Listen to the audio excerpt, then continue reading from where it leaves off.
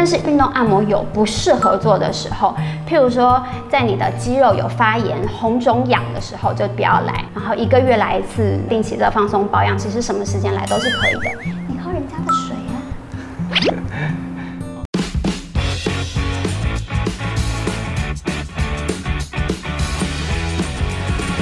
！Hello，大家好，我是吉特，欢迎收看本集的每一动自动。你以为只有运动员才需要做运动按摩吗？没有运动习惯的人，或者是很少运动的人，也是可以做运动按摩的哦。但是市面上按摩的选择百百种，五花八门，你要怎么选呢？没错，本集的每一动自动就要来跟你介绍运动按摩怎么选，以及跟一般按摩不同的地方哦。就让我们今天来欢迎我们的新朋友阿布布，以及我们的运动按摩师徐曼杰老师出场。大家好，我是 Jenga 运动按摩的按摩师徐曼杰。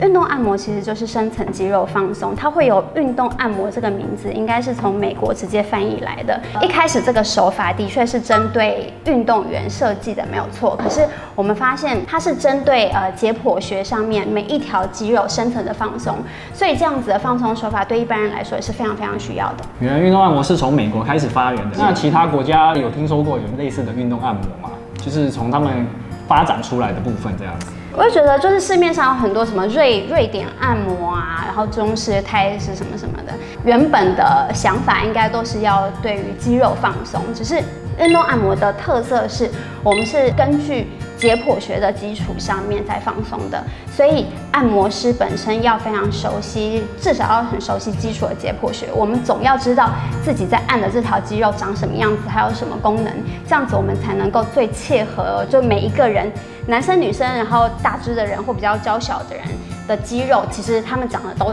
差不多的。那我们熟悉解剖学之后，就可以针对这些肌肉的纹理下去慢慢的放松。好，想问一下老师，运动按摩时机到底是什么时候呢？按摩最适合的时机其实不一定，看你自己习惯保养的方式。但是运动按摩有不适合做的时候，譬如说在你的肌肉有发炎、红肿痒的时候，就不要来。那时候就让你的肌肉好好休息，或是先去看医生，等到你的肌肉状况稳定了之后再来保养。因为运动按摩是一个肌肉的深层保养，所以呃，我们觉得就是只要你可以定期的来，然后一个月来一次定期的放松保养，其实什么时间来都是可以的。你喝人家的水啊！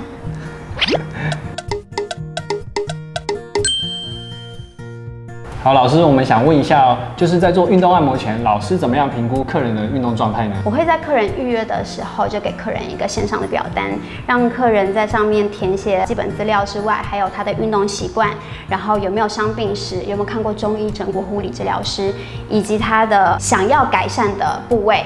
平常不舒服的部位啊，或者是特别想要放松的地方，然后在他进来大门的时候，就要先偷偷的观察一下他这个人的状态，因为当你跟客人说来，我们现在要来看一下你的姿态的时候，大部分的人都会把他自己最好的一面展现出来，你就看不到他平常到底是怎么样用自己的身体的。所以在他开门的时候、放包包的时候、换鞋子的时候，你就可以大概看得出来这个人他平常有什么好的、不好的姿势习惯。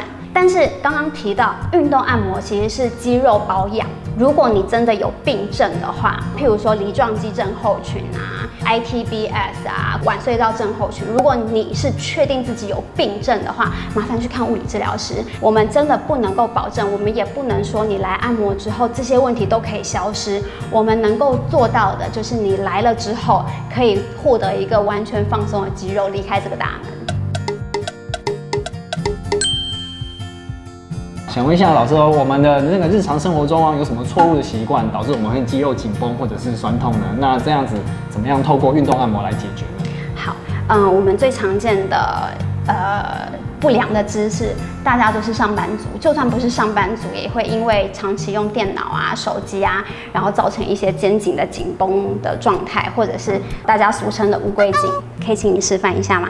侧面、侧面、侧面，就是在呃用滑鼠的情况之下，来你你你模拟一下打电脑用滑鼠的姿用。滑鼠打电脑，电脑荧幕那么低吗？哦这边啦，差不多这样子，对差不多这样。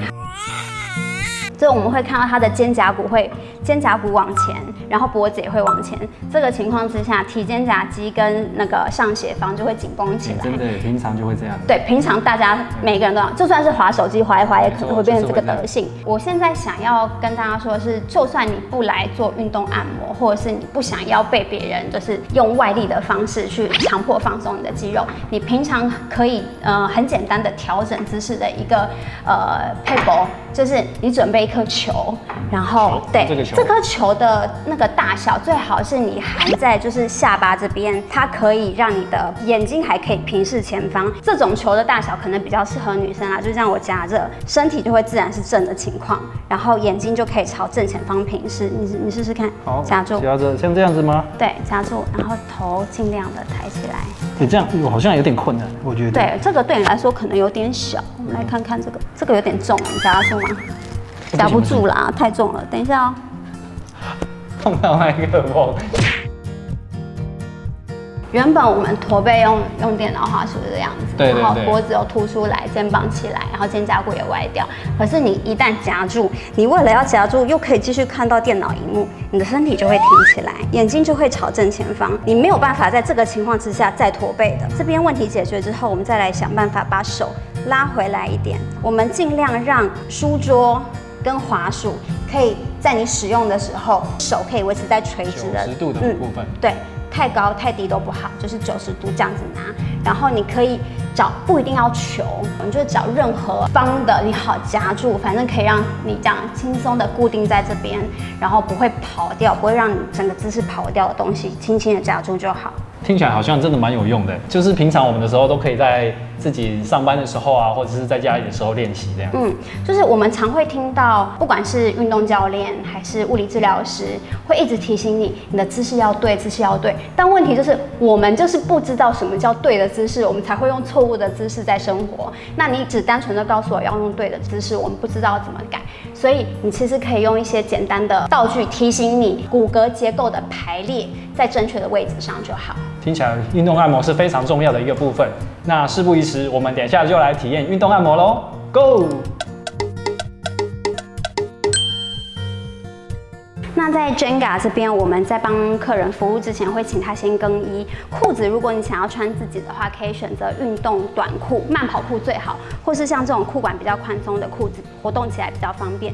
再来上衣的话，我们就会穿这种和服，让背是空的，因为等一下背会上油。一般来说，按摩其实没有一定的顺序，就是没有说一定要从头或者是肩膀开始往下按，或者是从脚开始往上按，往心脏这边推，跟离心这样子推方向。有差异嘛？其实没有差别。我们的目的只只是想要让这个肌肉放松，所以手法啊、方向什么的都是很灵活的。我个人的习惯会是从脚足底这边开始，慢慢的往上按。然后一开始呢，像我刚刚说了，筋膜一定要先放松，所以在上油之前会用拉扯皮肤的方式，先把筋膜给舒展开来。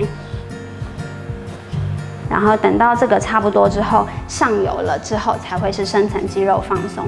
但是深层肌肉放松完之后，势必会伴随一些代谢物质的释放，你会觉得有些酸痛的感觉，有时候会像是运动之后产生的酸痛感，甚至有时候会有 O K 那样子的痛，这个都算是正常的状态。所以有些客人问我说啊，我以前去哪里按，然后很痛很痛，会 O K 会干嘛？其实。很难说是那个按摩师有什么失误，因为有时候深层肌肉放松完，它就是会有这些感觉啊。但如果说这个感觉这些代谢物质代谢完了之后，你本人并没有感觉到肌肉有真的放松的感觉，那也就是说你这些痛是不值得的。或许我们可以考虑下次就换一个按摩师。好的，今天非常谢谢徐老师为我们带来运动按摩的小知识。运动按摩真的是好处多多呢。不过大家一定要记得，想要有健康的身体，一定要运动哦。请记得锁定我们的每一动之动，follow 吉特动起来。我们下次见喽，拜拜。喜欢我们的影片，请按喜欢订阅并开启小铃铛哦。